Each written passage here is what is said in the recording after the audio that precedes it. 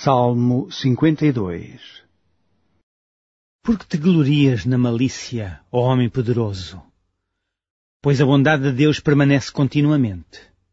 A tua língua intenta o mal, como uma navalha afiada, traçando enganos. Tu amas mais o mal do que o bem, e mais a mentira do que falar conforme a retidão, sei lá. Amas todas as palavras devoradoras, ó língua fraudulenta. Também Deus te destruirá para sempre. Arrebatar-te-á e arrancar-te-á da tua habitação, e desarraigar-te-á da terra dos viventes, sei lá. E os justos o verão, e temerão, e se rirão dele, dizendo, Eis aqui o homem que não pôs a Deus por sua fortaleza, antes confiou na abundância das suas riquezas e se fortaleceu na sua maldade. Mas eu sou como a oliveira verde na casa de Deus. Confio na misericórdia de Deus para sempre, eternamente. Para sempre te louvarei, porque tu isso fizeste.